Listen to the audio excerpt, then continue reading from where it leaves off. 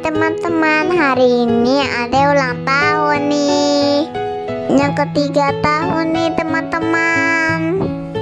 Ayo kita lihat persiapannya.